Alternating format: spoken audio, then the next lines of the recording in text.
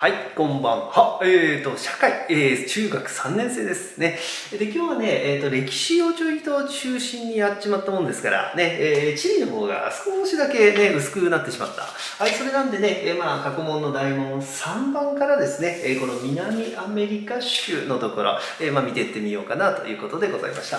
はい、そうしますね、まあ、およそ、まあ、ちょっとね、あの、形変えちゃったところもありますが、およそじゃあ、はいます、括弧1でした。えっ、ー、と、ここね、えっ、ー、と、白人と先住民との根血ということで聞かれてます。えー、なんていう民族なのかなっていうことですね。えー一番そのね、あの割合として多いということなんですね。まあ58%約、まあ半分よりちょっと多いぐらいね、6割程度のね、えー、割合があるということでした。はい、このね、白人と先住民との根結を、はい、えー、これで、ね、メスチソ、またはメスチーソなんて言ってたね。えー、メスチソ。ね、まあ伸ばしてメスチーソ言ってもいいんですけどね。まあ最近では結構メスチソと書かれる書き方が多かったかなということではございました。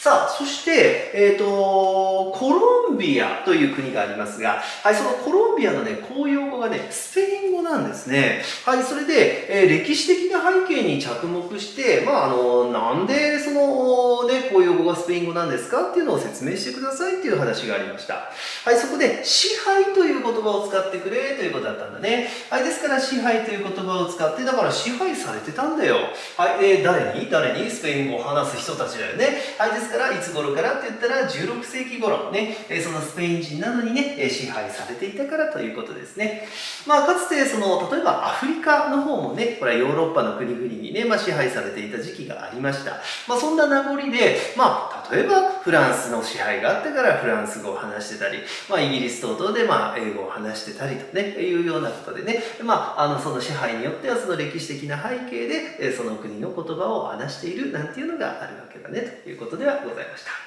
とりあえずはそのコロンビアの公用語がスペイン語。なぜですか？というその理由、歴史的背景を踏まえてということだったので、16世紀頃からね、スペイン人などに支配されていたよ、ね、いうふうなことで書いてあげたということでした。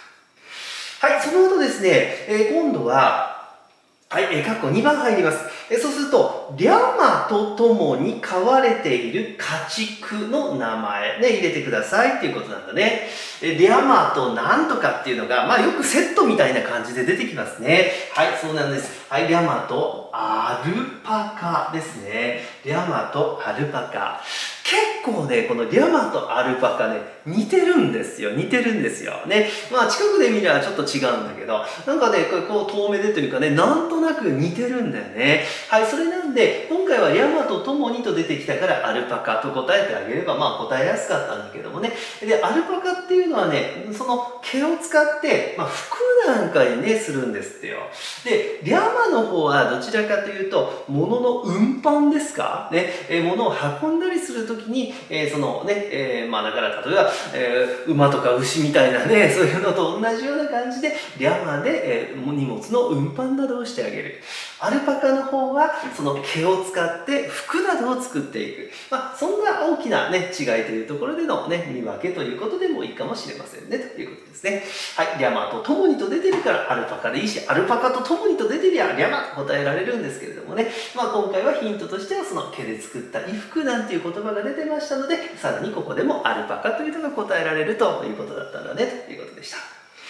はい、ペルーという国、はい、国土の大部分が、やれ、なんちゃら山脈に属しているということなんだね。はい、およそこう下手くそな絵を描きましたが、ね、これ南アメリカ、えー、大陸です。で、ここにドッカーンとね、大きな山脈があるんですよね。やれ、ですからペルーね、ここら辺にある国なんだけれども、ね、えっ、ー、と、何山脈ですか、これ。ね。北アメリカですと、ロッキー山脈っていうのがドカーンとありますよね。はい、こちら南アメリカなんでね、はい、何山脈かというと、はい、えアンデス山脈ね、えー、というふうに言っていくんだね。はい、ですからこの南アメリカのことと、カーンとここの大、えー、山脈が、はい、アンデス山脈ということでございました。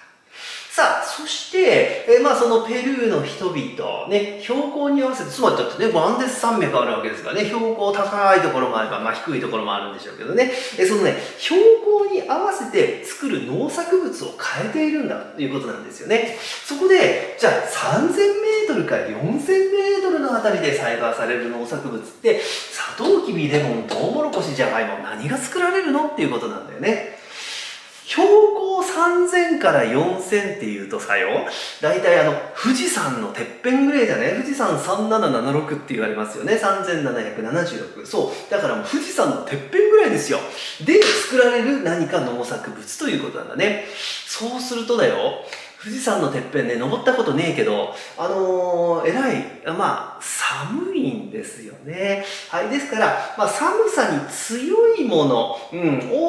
作っとるということになるんでしょうな。まあ、寒さ強くねえとできねえから、まあ、当たり前だけどね、まあ、作れるものを作るって言ったらそこまでなんだけれども、はい。ですから、このサトウキビ、レモン、トウモロコシ、じゃがいもの中で、何か寒さに強いものってどれだろうっていうふうに思ったときに、はい。じゃがいもなんですね。だからさ、あの、例えば、日本でも、北海道とかって、じゃがいもなんかのもいっぱい取れる、そんなイメージありますよね。はい、ですから、まあ、比較的寒いところでも、あじゃがいもって取れるんだね、っていうようなね、ところであったんです。じゃあです、ちょっと1000メーターほど下げて、ね、2000メートルから3000メートルのところあたりだったら何ができると思います？っていうことでね、まあ、何を作ってると思います？っていうことですね。さすがにサトウキビとかっていうのはね、もうほらなんかあったかいところっていうようなイメージもありますよね。はい、そこで、じゃあ2000メーターから3000メーターあたりになりますと、はい、これがトウモロコシなんだよっていうことなんだね。はい、ですから、ね、まあ比較的だから、まあ高度、高度、標高も下がったので、えー、まあ、ちった暖かい、ね、暖かい、まあそれは3000メーター、4000メーターが比べりゃ暖かいというようなところでは、トウモロコシを作る。はい、そして標高の高いね、寒いようなところでは、じゃがいもを作るというような感じ感じで標高に合わせて作るものを変えているということだったんだということでございました。さあ、そして、えー、まあ、あの、南アメリカ大陸、大変ね、出てきましたけれども、えー、まあ、ね、アンデス山脈があるというのは良かった。で、やはり川、川、川。ね。ああ、聞かれますね。川聞かれますね。北アメリカの方だと、まあ大体出てくるのはミシシッピ川。ね。えー、で、えー、南アメリカ来ますと、まあ聞かれてくるのは、はい、南中川ですかっていうことですね。はい、そうしますと、まあこれがね、えー、あ、こっちがな。うん、ね。アマゾン。はい、アマゾン川なのよ。アマゾン川ね。はい、アマゾン。ね、あの、箱で届くやつですよね。はい、ということで、アマゾンが。はい、そして、じゃあ、ついでに、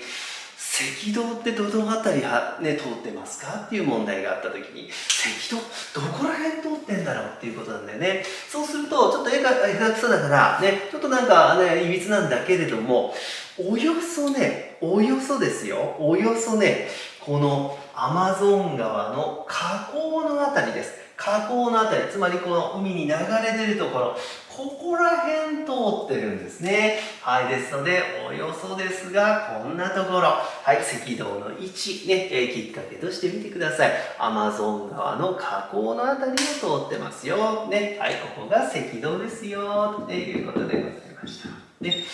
はい、ということなんで、えー、大門3番ですね、若干のアレンジは入りましたけれども、およそこんなような形でね、問題聞かれてたということでございました。はい、といったところで、じゃあ今日はこんなところでございます。では、また。